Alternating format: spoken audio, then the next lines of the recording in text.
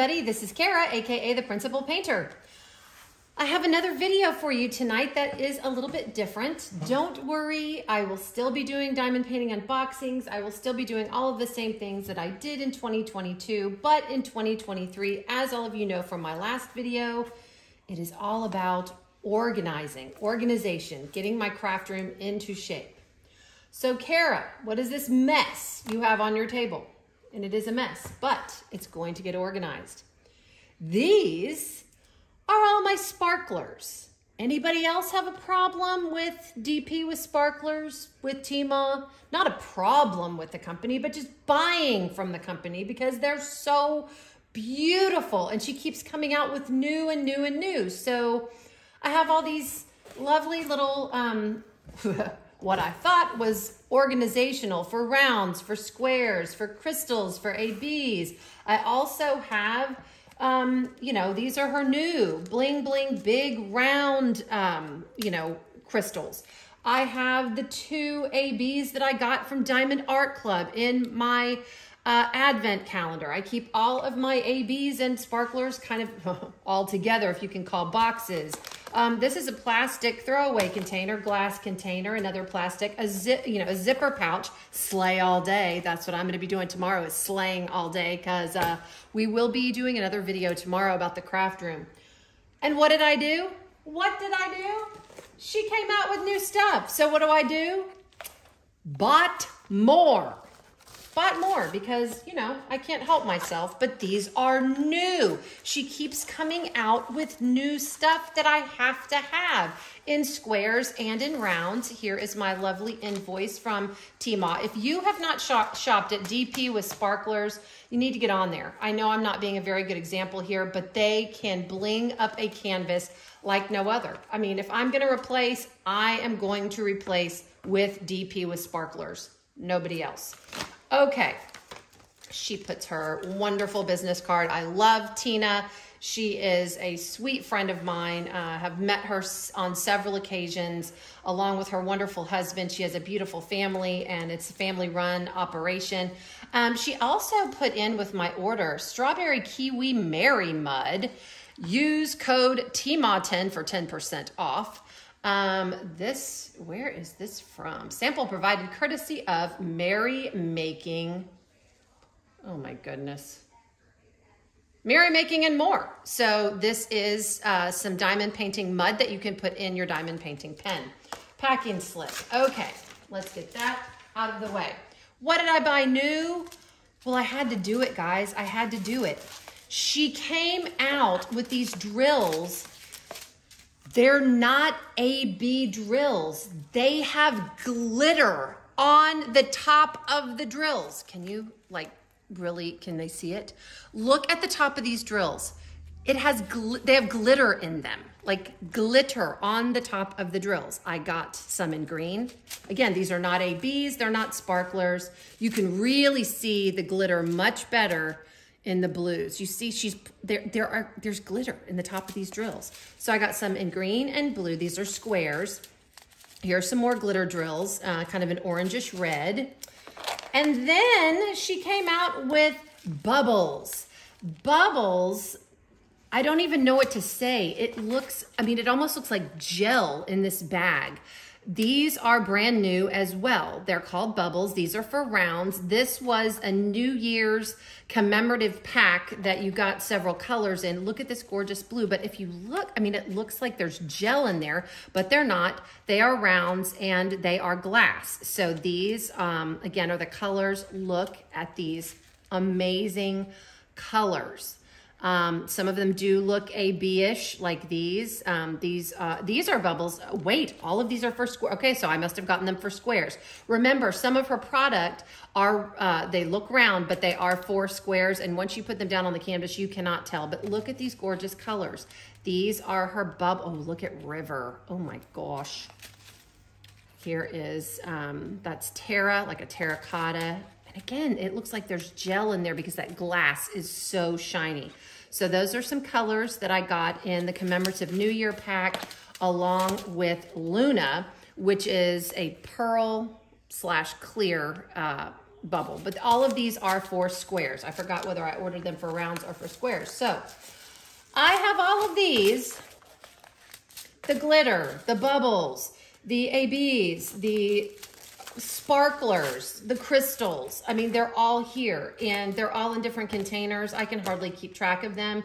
I need to organize them. So one thing that I got, um, my friend Brandy, Mystery of Diamonds, is an affiliate for Art Dot. And I got two products from Art Dot that I'm gonna show you tonight that I'm going to use to organize this mess. All of this came off of the counter on my chest of drawer, drawers that I showed you the other night. Remember the one I chalk painted? So this kind of cleared a little bit of space off. But I got this from Art Dot and I loved it. Brandy showed me hers. I had to get one because I just had to. Um, and I felt like this was a great organizational piece. Get it out of the box. Dumping it upside down. I hope it doesn't fall apart on me. Ooh. All right. You can purchase these. They're drawers, okay? And now that I've dumped it upside down, all these little containers are gonna be cattywampus all over the place. But they are drawers, okay? I'm wanting to say, let's see, one, two, three, four, five, six, five, six, seven, eight, 48 bottles per drawer, okay? So they're all filled and I like these. Um, these hold a great many drills. I have some of these in my traveling cases and they work great, but guess what else these hold? If you don't like these, and you like the big Tic Tac containers, they hold the big Tic Tac containers as well, and the drawers close just fine. Oh my gosh. So, in addition, on the top of this four drawer system, I've got so much to show you. I'm so excited. On the top of this four drawer system is this, and it's another organizational piece where you can put wax, you can put pens, you can put cover minders, whatever you need, and it's in its own little container. I mean, it is great. I'm gonna have to work a little bit to get these drawers open because I've dumped over some of the bottles. But whoa, I'm telling you, it's all over the place. Marlon's having to catch it for me. So what I'm going to do is uh, another thing that it comes with is this. If you've not seen these, um, these have been around for a while, but for those of you that may be new to the diamond painting world, these are great. They're like silicone or rubber funnels, and you can collapse them or poke them out. You put this down in the bottle. show you real quick. Unscrew the top, put this down, and when, then when you're dumping your drills in, they don't spill um, all over the place, which is great. And then when you're ready to put it away, it collapses to a nice flat, um, little flat thing. And in addition to that, what you get with this also, and it is very reasonably, reasonably priced. I think I paid like 30 bucks for this. It comes with labels. So you can label each bottle with what, uh, what is in here. So this will be plenty. You can get this particular setup with two drawers. I went ahead and got four drawers because I have so many of these crystals and sparklers and ABs and now glitter and, you know, all kinds of things that um, I needed to make sure I had plenty. So I think two drawers I will dedicate to rounds and two drawers I will dedicate to squares. And again, these are nice, you know, nice clear drawers so you can label the outside very nicely with rounds and squares. So I'll be able to tell. So that is one thing that I'm going to do to get my sparklers organized. So it will be one thing rather than all of this mess, okay? Um, that is the first thing I have to show you. Now, I was also talking with Marlon. I have a lot, a lot, a lot of diamond paintings under our bed in our master bedroom. Do we not? Yes, we do. Uh-huh. Uh-huh. And Marlon's like, okay, Kara, what are you going to do with those? What are you going to do with all the diamond paintings you've gotten completed, but they're under our bed in the master bedroom? And I didn't know. Well, I was looking on Facebook one day, and in one of the groups, sorry, I'm trying to set all this on the floor. In one of the groups, don't ask me which group, this woman was talking about what she got for Christmas, and she had gotten this item, and I was like, okay, I've got to have it. It is also from Art Dot. It is my Diamond Art Storage book. It is a huge portfolio. Came in a big old box. I mean, the box was ginormous. Okay, let me get this out of the plastic. So I haven't even looked at this, so you know I haven't cheated. But I'm excited because I am well on my way to really getting some organization done. This is also very reasonably priced and it holds very large, obviously, uh, diamond paintings. So at the bottom, you can label um, your portfolio, what you want to label it. At the bottom, it has a Velcro clasp. You unclasp it. And then inside, it has, open up my big storybook here. it looks like a big storybook, right? Um, I'm not going to fiddle around with these too much, the clasps that hold the plastic pages in. Um, I do not know whether they come, again, I, will play around with them. I'm sure they could come out if you would like them to. But look how big these sheets are. I mean, they're really, really big. Now what I'm trying to figure out is this. Why? Okay. Can you hold that for me? I'm gonna turn this around really quickly. Do these sheets come out? I'm gonna knock over my handles. Okay, well, you know, if they get knocked over, they get knocked over. I'll figure it out. Okay. How do they come out? Okay, there's some tape. Maybe this is just the plastic on the outside of it that's holding it. I'm thinking it is. I don't want to ruin it. Okay. I'm yeah, thinking, not quite sure how this outer bag comes off. Okay, let me just do this. Because these are the portfolio pages. I'm telling you, um, are there scissors over there, honey? Okay.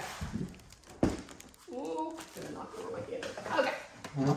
I'm gonna cut this because this is just plastic. I'm not gonna cut, I promise I won't cut my portfolio pages.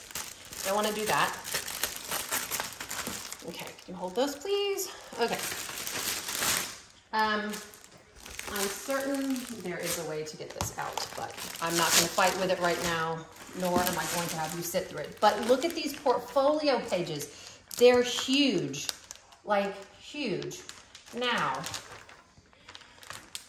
I am wondering how you get the paint, how do you get the paintings in? I think you unclip this off. Do you unclip it? It probably came with instructions too. Ah, well, duh. okay, I'm an idiot. You can take the pages out. All right, we're taking the pages out. We're just destroying the entire thing. All right, there's the plastic. All right, I'm assuming that Yes. Okay, so there's the opening. So you have to take them out of the little, the little clips. And, you know, if I can take these out, anyone can. You just clip them down, clip them up. Now, I'll show you, if I can. Woo! This is a, an act, okay? So I've got, I'm wondering if Cassia can fit in here. I've got some diamond paintings that I finished. So the ones that I'm not gonna hang up, that I'm gonna put in the portfolio. I have several. This one I'm not even done with, but I'm going to try to put her in here. Her dimensions on here, Cassia's dimensions are a 56 by 71 centimeter, which is a good sized diamond painting. It's not like huge, but look how big, for the sake of space. So glad my cameraman is behind the camera. Can you take that for me so that I'm not fighting with it? Okay, so this is one of the pages. You also have other pages that are divided, which I will show you momentarily, so I'm gonna need that back in a second. Okay, I'm thinking, can Cassia fit in here? Oh, easily, easily. So, just stick your diamond painting in you guys have really watched for the past two videos me struggling and fighting, but that is okay. That is, like I said, that's vulnerability. That's real stuff. This is the real deal here. But look, it fits a rather large diamond painting. What am I holding up? Oh, I got another diamond painting in there. I'll show you that in a second. It fits a large diamond painting in this portfolio sleeve. Now, here's the problem. you have got a little bit of hangover uh, to where you're, you would have to cut the outside of your border, not um, not up to the diamonds by any means, but you'd have to cut it so that you could snap this back into the portfolio. But look how big this painting is, and it really holds very nicely a nice sized diamond painting. It also has pages that are divided in half. So if you had a painting like this one, I'm not a craft hoarder, I'm the curator of an extensive sparkly diamond art kit collection.